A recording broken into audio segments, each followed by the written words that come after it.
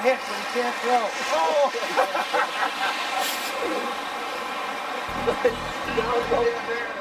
One and two to Chris Gimenez.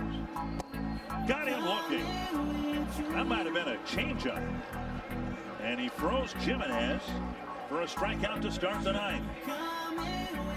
Strike him out. Two down. That's that heartbreaking ball again. He got Gimenez to take it for strike three. Check swing, strike three. And Perkins strikes out the side on 10 pitches.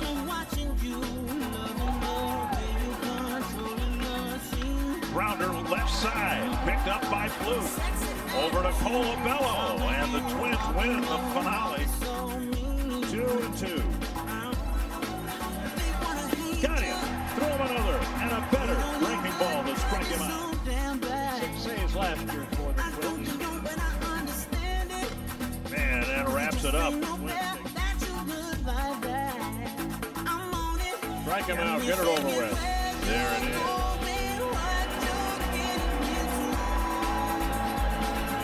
Struck him out. Two and one. Now to right. Harmony is there on the edge of the warning track, and the Twins take two out of three from the Tigers.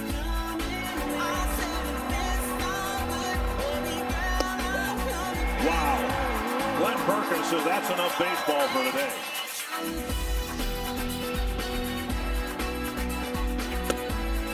And Glen Perkins blows, goes away. A one, two, three turn. Fastball up in the zone. Got him! And the Twins beat the Tigers in the series opener easily.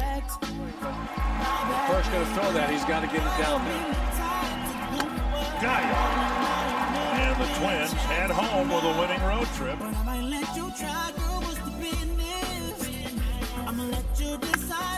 Drive to center. Hicks is back.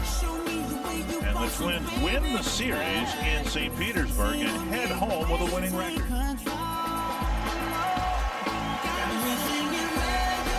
Got it.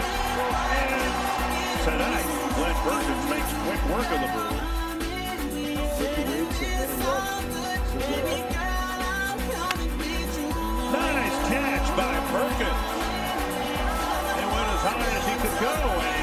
It for.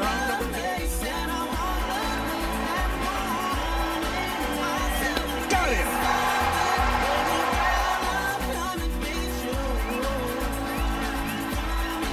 Got him. There's a strikeout.